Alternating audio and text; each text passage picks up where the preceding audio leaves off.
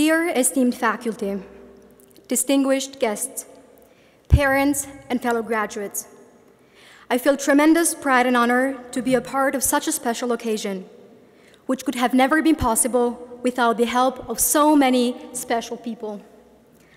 I want to start by expressing my deepest gratitude to all of those who have helped us along this journey.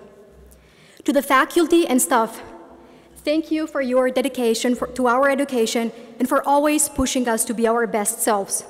A special thank you goes to Dr. Mehu and Dr. Löfstedt. To my partner, Goyard, wherever you're sitting right now, you've been there for me through so much, and I feel so lucky to have you in my life.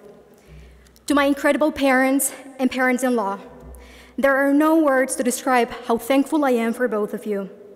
You've shown me both in actions and in words what it means to live authentically through unwavering care, compassion, and love. For that, for all of you and everyone else that I haven't mentioned who's played a role in getting me where I am today, I say a big and honest thank you. And to my fellow graduates, thank you for the memories we have created together and for making these past years truly unforgettable. As we stand here today, it is important to take a moment to reflect on our experiences at Webster Vienna. Looking back to freshman year, it seems like it was just yesterday. Reflecting on our time at Webster Vienna, I am struck by the countless moments that have shaped us into who we are today. From the late night study sessions, to group projects and presentations, to writing our thesis, we have, we have learned not only about the subject we studied, but also about ourselves. We have discovered our strengths and weaknesses, our passions and goals.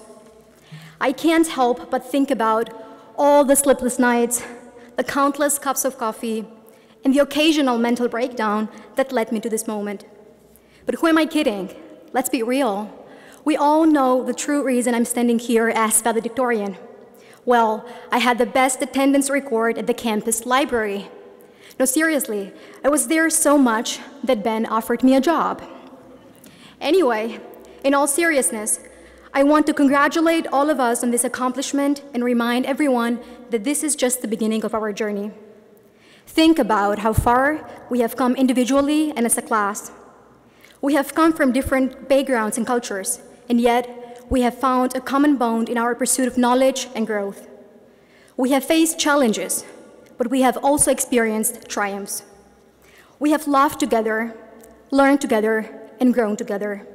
And through it all, we, all, we have become a family. As we embark on a new chapter of our lives, we must not forget the power that lies within us. Despite the challenges that may lay ahead, we have the opportunity to make a difference and create a brighter future for ourselves and for those around us. Let us be inspired by the words of Nelson Mandela, who said, It always seems impossible until it's done.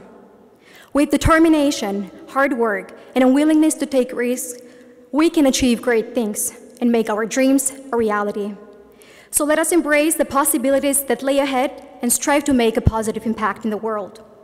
Let us be grateful for all of those who have helped us along the way. Reflect on our experiences and be inspired to create a better world.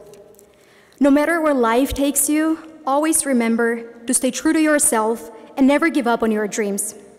Pursue your passions with purpose. Work hard and never lose sight of the person you want to become. As I conclude my speech, I want to leave you all with one piece of advice. Let's always remember to enjoy the journey and have some fun along the way, because ultimately, life it is too short to take everything too seriously. Congratulations, class of 2023.